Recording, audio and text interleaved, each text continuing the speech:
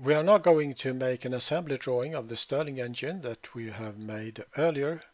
So I will open the scene, open the Stirling engine scene. And before we make a 2D assembly drawing of the Stirling engine, we will make an assembly of the parts here in the scene.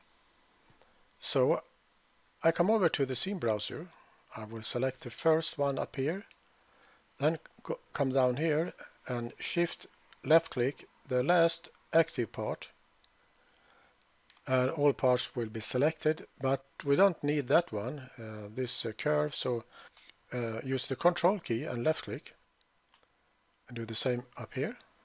Control left click. And then you can right click and choose assemble shift A. That's uh, one way of doing it. Another way is to make an, a window selection. If you click here to the left, uh, drag out uh, a window, and then here let go the left mouse button, you will select every uh, active part in the scene. But you can also select from right to left, but if you do that you will have a different order of uh, this part in the assembly. If you select from left to right you will have this order in the assembly. Uh, so uh, in this case it's better if you if you're doing a window selection if you select from left to right so that we have uh, these parts in the same order in the assembly. So now when they are selected uh, we can now make an assembly of them but before we do that down here at the bottom we see three suppressed parts.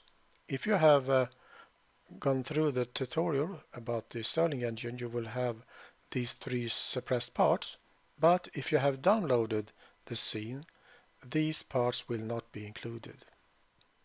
So now I can right click here, you can right click in the scene browser as well and then choose assemble shift A like so. Then we will change the name, I will click twice so I can change the name. I will uh, type Stirling engine. Then I will move this assembly to the top here. I will left click and hold and drag and drop it here at the top like so. So it will be the first one in this uh, scene browser. Now we are ready to create a 2D assembly drawing. So I'll come up here, click this template button and this dialog window opens and I will choose ISO templates and ISO templates are set to first angle view creation. If you want to have third angle view creation you have to choose ANSI templates. But I will choose this one. I choose A3 and OK. So we see now the drawing sheet and also the view creation window. This will be the front view and uh, we see here that the front is already selected but I want also a top view so I'll select that one. I will use auto scale and then I will click OK and then I will place the views here. So then I select the front view and then come over to the properties. We see that here that we can change the scale now it's set to half scale, but if you click this drop down menu you can choose another scale if you want to, but I think that this scale will fit perfectly in this case. But you can also change scale by using the arrows on the keyboard. So if you select, make sure that you click on this uh, front view and if you press the up arrow on the keyboard you will change the scale to 1 to 1 we see here and if you click the down arrow you go back to half scale. And if you click the down arrow again you will go to 1 to 5 but I want that scale that we had from the beginning. So now when the front view is selected if you come over to the properties here under actions we see some tools that you can use when a view is selected. And uh, if you go further down you can also choose to show hidden edges and here at the bottom you can also choose view quality and we will look into that in a few minutes. And if I deselect all views and come over to the properties, we have uh, these tools when no views is selected. And here you can choose if you want to have zero width lines or line weights. And if you come up here, we have the ribbon bar and in this home tab you have most of the commands that you can use when you're working with drawings, but there are other tools that you can use as well, but we will go through some of them during this course. And if you come over to the right hand side we have the catalogs and perhaps you have a different catalog open, uh, perhaps uh, this one. And in these catalogs there are items that you can use by just drag and drop them onto a drawing.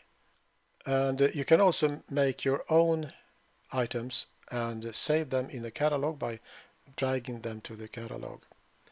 You can also hide these catalogs if you want that. Um, if you click this pin button, auto hide, that will give you more room here in the scene uh, for the drawing. And if you want to see these catalogs again, you just hover the cursor over the name and uh, the catalog will show up. But if you want them visible, stay visible, you can click this pin button. But I will hide these catalogs temporarily for now. Then if I select this uh, front view, I can move this view uh, by uh, left click and hold. For instance, I can move it to this side here and we see that this view uh, will follow because this view is constrained to the front view. You can move this view up and down but not left or right because it is constrained to the front view. So I will move it back to this side here. So now I will zoom in a bit like so and we see that we have these dimensions here M4 and M3 and so on. Perhaps you remember that um, we made sure that this information should be added to the 2D drawing when we add the holes on these parts. But we don't need these dimensions right now so I uh, select the view and right click come down here choose hidden threads and hide all and I will do the same with the the other view select it right click hidden threads and hide all and then I deselect all views come over to the properties. And now we see here that um, we have use zero width lines. I will zoom in a bit to show. Um, I can uncheck this box. Now we can see the the uh, line weights. But I will use zero width lines in this case. And if we come closer and select the view and if we go to the properties and go down to the bottom we see view quality right now the draft quality is set and the draft quality works fine in most cases but if you have a large assembly drawing with hundreds of or perhaps thousands of parts and you are in draft mode or precise mode, it can affect the graphics card in a negative way. In such case, you can use quick mode. So if you select quick mode when the view is selected, the view will turn into an image and now it will be much easier for a graphics card to, to handle th that amount of parts. But in most cases draft works fine. But sometimes, like in this case, we see that this arc doesn't look sharp and clean. In cases like this you can choose the view quality precise and we will see that the arc will now look uh, clean and sharp. But I will choose draft in this case anyway, like so. Then I can double click the, the wheel on the mouse to get a fit sheet or you can also find that command down here. Click this button, fit sheet, F8. Now we are ready to add a bill of materials. So uh, we come up here. Here we have bill of materials and you have to add bill of materials before you can add item bubbles. And I will make sure that no views are selected when I add bill materials and, and I will soon tell you why.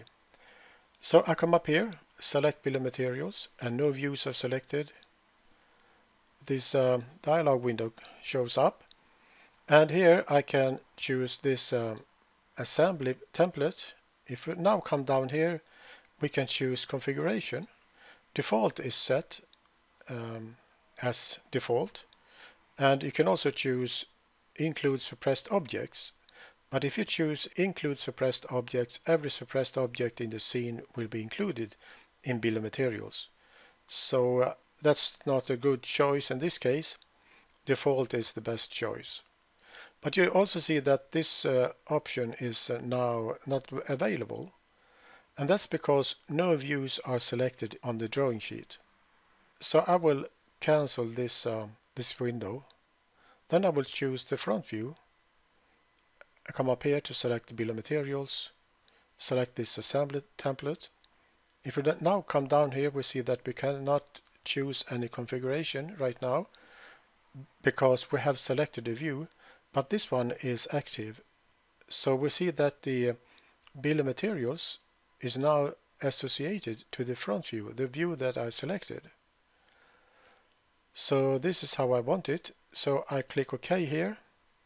We got uh, bill of materials. And I will grab this node here and snap it to that uh, corner. So the items you see here in the bill of materials are the parts you find in the front view. If you were to add a bill of materials and there were blank rows, then you have chosen the configuration include suppressed objects and the blank rows represent the suppressed objects. If there were any objects missing in the bill of materials, it may depend on the, on the setting in the 3D scene because every part in the scene has a setting where you can decide whether the part will be included in the bill of materials or not. It's a box that is checked and it says include in bill of materials. If that box is not checked, the part will not show up here in the bill of materials. But in this case, there will be no blank rows or missing parts. So we will also add some item bubbles. So I come up here to select item bubble and I will zoom in a bit. And uh, in the same time you see that uh, the bill of materials turns into yellow. So if I now hover the cursor over this uh, connecting rod you see a box with the, the name. If I now click here and drag and drop it there we see that shows me that now I have selected this one or I have added um, item bubble on this item. So I will select this one, zoom in a bit more, drop it there. So now it's two selected, then I select the crankcase and that one will also be white. So that shows me that I have these left to add item bubbles on. Then I come down here and I will see now I will try to move that one so sometimes the items can be very small to uh, to select when you are adding uh, item bubbles like in this case here I can choose a magnifying glass. If I hover the cursor over the nut here because I want to select the nut the washer and the screw so if I press G on the keyboard I will add a magnifying glass. I can move this glass a bit by moving the cursor to the sides. But I will click and select this uh, nut and then I press G again to deactivate the magnifying glass and place the item bubble here. Now I want to select the washer. I press G, click the washer, pre press G and then place the bubble here, item bubble. Do the same with the screw. Press G, click the screw, press G and place the item bubble here. That's uh, one way of doing it. I will uh, click OK here. So in this case now I will delete that one and I will delete that one and I'll move this one up a bit like so. So this will be the washer. Another way of doing it is if I now right click I could choose add item and I want now to add um, let's see now we have, uh, this is the washer 21, but I need um, a nut and a screw. So in this case I will choose uh, 23 and click OK. Now it will be added here. Then I right click again and uh, add item. Then next will be 24, a nut. Select that row and click OK, like so. So that's another way of doing it. So then we go to the title block. We see that um, here now that there is no drawing number or no name and that's because there are some information missing or it's not enough information in the 3D scene so we have to change that. So I could now come up here to click this tab to open that scene Stirling engine and make the changes but let's say now that um, I have this drawing open but no 3D scene. Uh, then I can do like this. I can right click this view. And now I can come up here to choose edit scene. When I do that the scene will open and the camera will be positioned in the same position as the drawing view. So that's a, a way of doing it. And uh, now if I select uh, this assembly come down to properties we see that there is no part number, there is no description, so I have to add that information. Now when this name is already selected, I press Ctrl C to copy it. I click here in description, Ctrl V to paste it, and part number will be 200 and I hit enter. Then I go back to the drawing and zoom out a bit. Here we have the information now. If you want to add more information here, uh, for instance, this uh, box, you can double click the box and type the information you want. But you can also come up here if you have ICMake installed. You can click this tab, choose edit title block, and here you can type in the text you want to add, like so, and then I click OK, and we have the information here in the title block.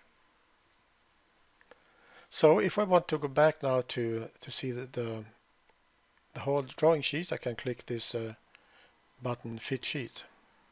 So if you want to, you can uh, add more item bubbles, but I will save this drawing. I come back to the Home tab up here, click Save, and I will call it Stirling Engine. It, it has the name already, and I click Save. And then I will close uh, this drawing.